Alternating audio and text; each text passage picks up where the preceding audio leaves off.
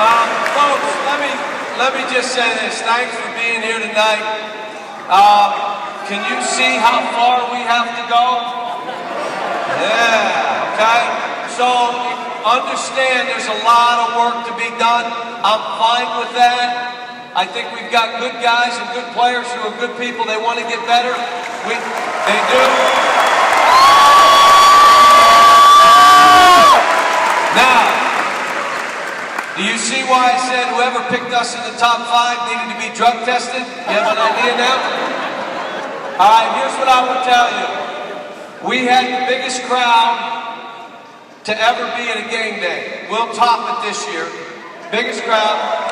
And I don't know how many of you will stay. They're going to have both of today's shows on from ESPN. The first show will be played. We're going to be inside. The team will come out. We have not seen the second show. But this would be the biggest crowd to ever watch an ESPN TV series. So if you want to stay, we'll be back out. All right, let's go.